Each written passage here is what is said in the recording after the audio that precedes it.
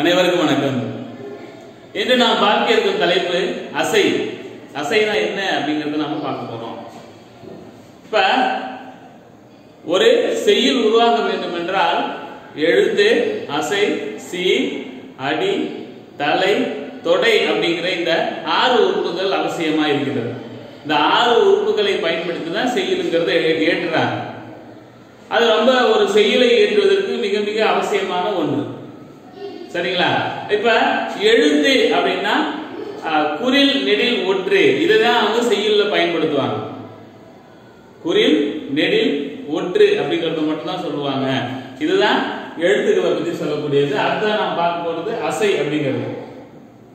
அசை என்றால் என்ன? இது எந்த மாதிரியான இடங்கள்ல வருது? நாம எப்படி இதை கண்டுபிடிக்கிறது அப்படிங்கறத பத்தி இப்ப பார்க்க போறோம்.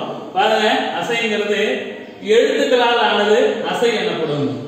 அப்ப எழுத்துக்களை தான் நாம என்ன சொல்றோம்? அசைன்னு சொல்றோம். எந்த மாதிரி வரக்கூடியது? ஒரு எழுத்தோ இரண்டு எழுத்தோ நிற்பது அசை ஆகும் அது ஒரு எழுத்தா இருக்கலாம் இல்லாட்டி இரண்டு எழுத்தா இருக்கலாம். அவ்வாறு வருவது தான் நம்ம என்ன சொல்றோம்? அசை அப்படின்னு குறிப்பிடுறோம். இது நேரசை நிறையசை என இரண்டு வகைப்படும். அப்ப இது எத்தனை வகைப்படுகிறது?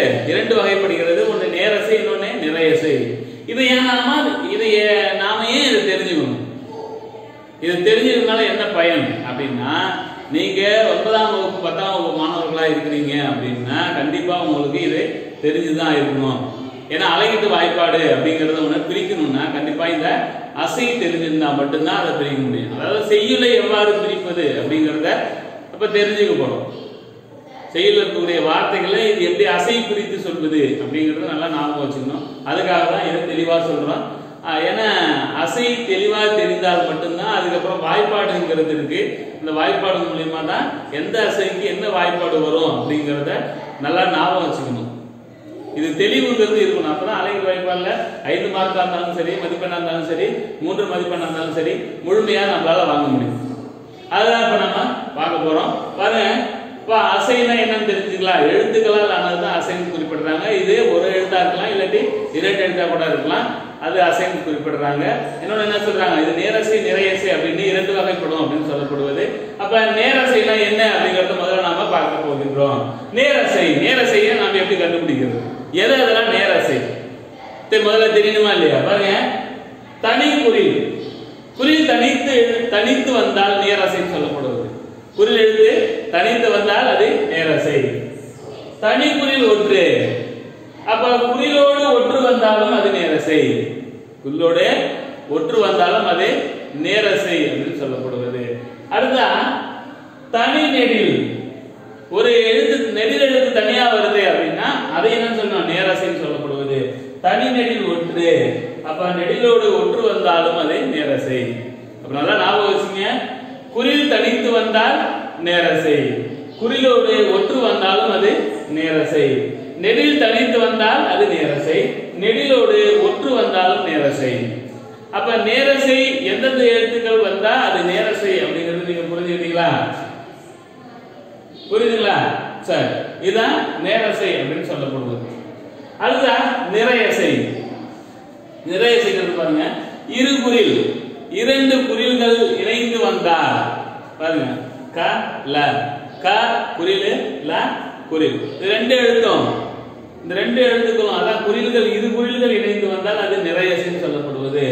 இரு குறில் ஒற்று இரண்டு குறிலோடு ஒற்று வருகிறது என்றால் அது நிறையசை களம் க ல இம். இரண்டும் ரெண்டும் குறிலில் ஒற்று சரிங்களா?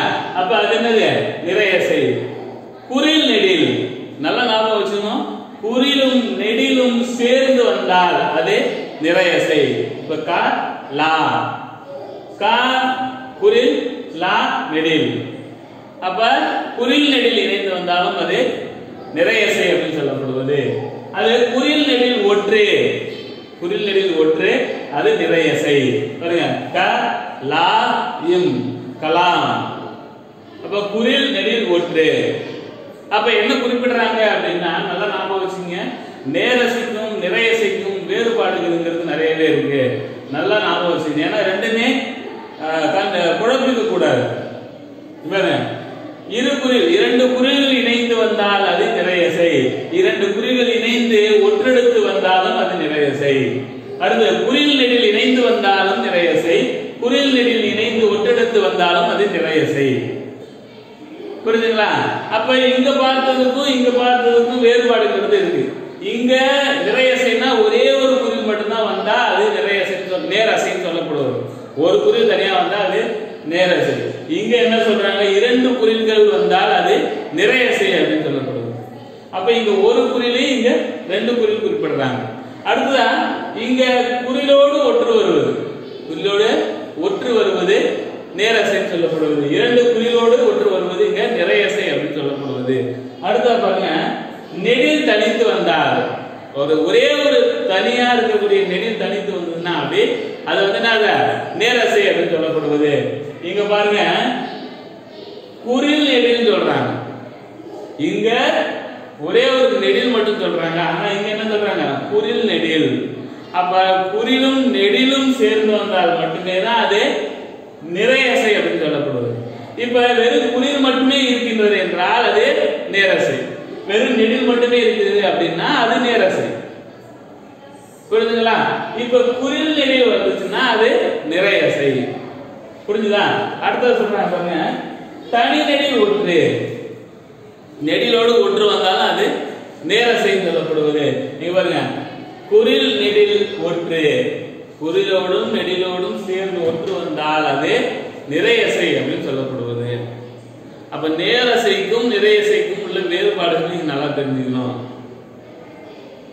புரியுதுங்களா உங்களுக்கு அடுத்தது பிரிக்கிறதுக்கு போது நல்லா ஞாபகம் வரும் அப்படின்னு சொல்றேன். அடுத்தது குறிப்புகள். என்னென்னலாம் நம்ம நல்லா ஞாபகம் வச்சுக்கணும் அப்படின்னா இரு நெடில் இணைந்து வராது. இரண்டு நெடில்கள் இணைந்து வராது. இரண்டு நெடிகள் இணைந்து வராது. அப்படி இணைந்து வர மாதிரி இருக்கு அப்படின்னா அது தனித்தனியா தான் எடுத்துக்கணும். அப்ப இது நெடு தனியா வந்த ரெண்டு நெடில் ஒண்ணா இருக்குன்னு வச்சுக்கோங்க. அப்ப ஒரு நெடில நேர்னு இன்னொரு நெடில நேர்னு வச்சுக்க வேண்டியதுதான். இப்போ இங்க என்ன சொல்றாங்க? இரு நெடில் இணைந்து வராது அப்படின்னு குறிப்பிடுறாங்க அடுத்த நெடில் குடில் இணைந்து வராது. நமக்கு தெரிஞ்ச வரைக்கும் எப்படின்னா குரில் நெடில் வந்தாதான் அது நிறையசை குரில் நெடில் வந்தாதான் அது நிறையசைன்னு சொல்றோம். ஆனா நெடில் குரில் வந்துருது. இப்ப நெடில் குரில் பாருங்க இப்ப வந்து பாருங்க.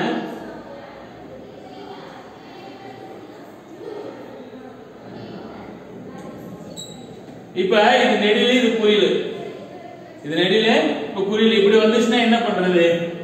ஏன்னா இங்க என்ன சொல்றாங்க நெடில் குறில் இது வராதுன்னு சொல்லிட்டாங்க. ஆனா இப்படி வருது என்ன பண்றது?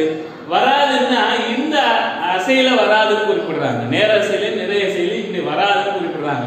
சப்போஸ் இப்படி வருது செய்யல அப்படின்னா அப்படி நீங்க என்ன செய்யணும்? இது நேருன்னும் இதையும் நேருன்னு தான் குறிப்பிடணும். அப்ப நேர் நேருன்னு தான் குறிப்பிடணுமே தவிர நீங்க இங்க நிறை காம்பு கூடாது ஏன்னா நிறை வந்து என்ன சொல்லிருக்காங்க குறிலும் நெடில் தான் சொல்லியிருக்காங்க. குறில் முதல்ல இருக்கணும் அடுத்து நெடில் பின்னாடி இருக்கும். அப்படி இருந்தா மட்டும்தான் அது நிறையசைன்னு சொல்லப்படுவது. இப்படி வந்துருச்சுன்னா இது தனியா பார்க்கணும். நெடில் தனித்து தானே இருக்கு. அப்ப நெடில் தனித்து வந்தா என்னது? நேரசை அப்ப குறில் தனித்தியா இருக்கு?